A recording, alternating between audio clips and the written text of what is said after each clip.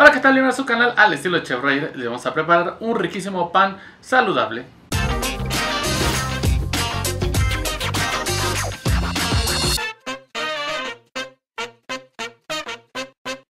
En las semanas pasadas hicimos unos riquísimos hotcakes de avena súper saludables. Bueno, el día de hoy traigo una receta de otro pan saludable para que podamos comerlo sin culpa. De todos modos se consume con moderación, pero es muchísimo mejor que cualquier pan comprado que puedan conseguir. Así que les recomiendo que hagan esto. Recuerda regalarme un pulgar arriba, compartir, suscribirte. Es importantísimo ya que YouTube me avisa que solo el 20% de las personas que ven los videos están suscritos, así que suscríbete. Estoy usando 3 cuartos de taza de chabacanos deshidratados fueron 150 gramos. Un par de huevos, 75 gramos de mantequilla, son 7 cucharadas. Media taza de azúcar, que son 125 gramos o 10 sobrecitos de stevia, yo uso esta marca. Ustedes pongan la que quieran. Una taza de leche, una cucharada de polvo de hornear, una taza de harina de avena, que es avena molida, una taza de harina integral y una taza y media de amaranto. Los chabacanos a mí me gusta primero abrirlos por la mitad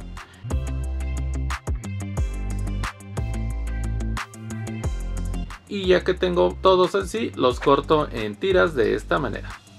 Esto los vamos a poner a remojar en la leche por unos 10 minutos antes.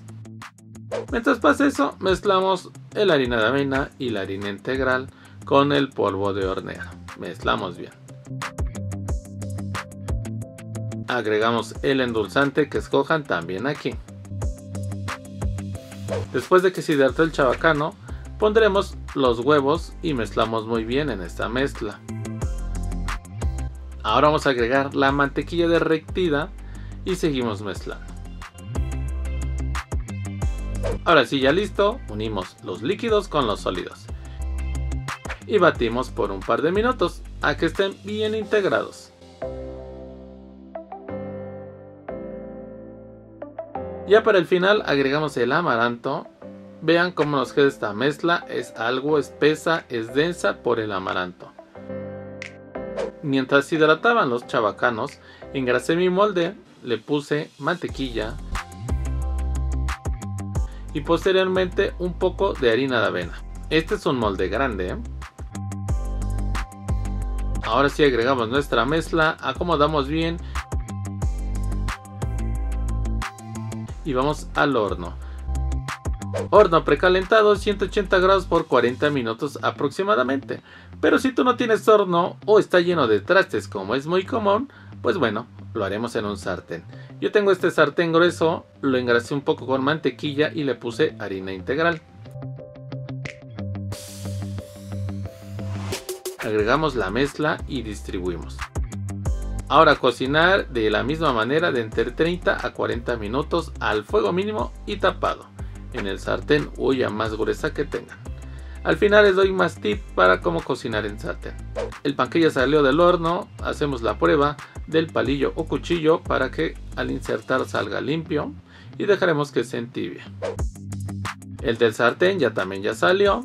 Este con que de arriba se sienta sólido es que ya está. De igual manera pueden hacer la prueba del palillo, no pasará nada. Este lo vamos a sacar volteándolo en una tabla o plato grande y está listo. Y vean cómo los partimos, se ven buenísimos y sin culpas.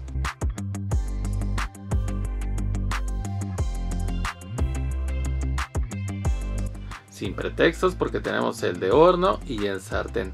Vean cómo nos quedan los dos rellenos, esponjosos, con muchos frutos, están increíbles.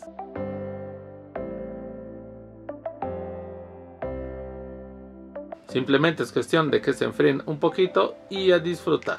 Recuerda anotar tu receta o tomar captura de pantalla y vamos a probar este riquísimo panque.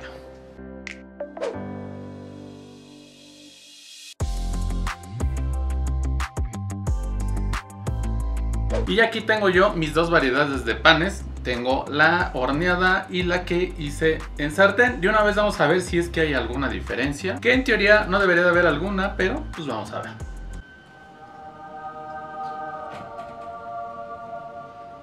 Está buenísimo.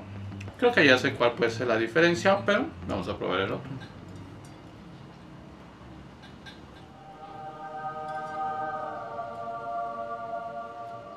Del sabor realmente es igual. Unas variantes que ahorita les explico.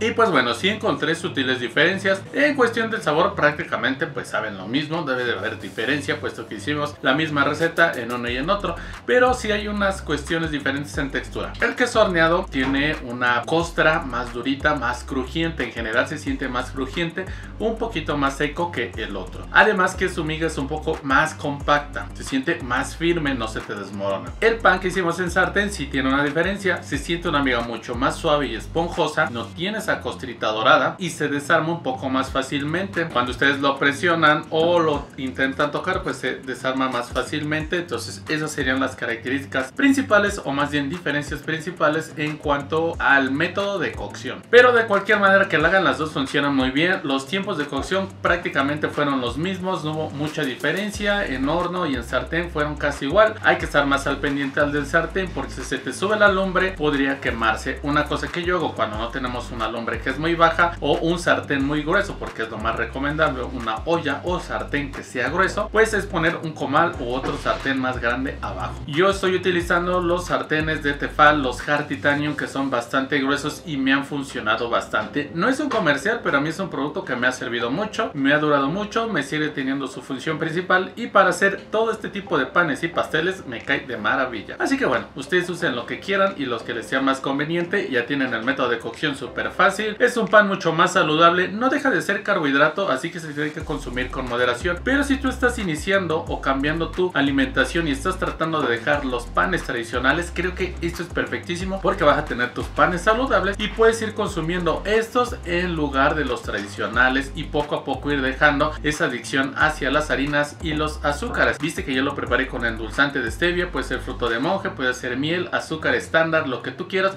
pero poco a poco vamos haciendo estas variaciones que podamos comer de todo comiendo saludable, pero comiendo bien. Recuerda si te gustan las recetas, no te olvides dejar por arriba, comentar, compartir, suscribirte. Es importantísimo que compartas y que te suscribas. YouTube me avisa que solo el 20% de las personas que ven los videos están suscritas. Así que, ¿qué pasó? ¿Dónde están todos los demás que ven los videos? Suscríbete y activa la campanita de notificaciones para que te llegue un mensaje cada que subamos video nuevo. En la caja de la descripción ya sabes que te voy a dejar los enlaces hacia más panes y recetas saludables que hemos hecho. Tenemos bastantes, así que no te las pierdas. Ya sabes que en ya te aparecen otras sugerencias. Para ver cualquiera de ellas, pues simplemente dale clic en la ventanita y te voy a llevar de inmediato a que lo hagas. Así que por lo pronto esto, yo me despido. Nos vemos a la próxima. Chao.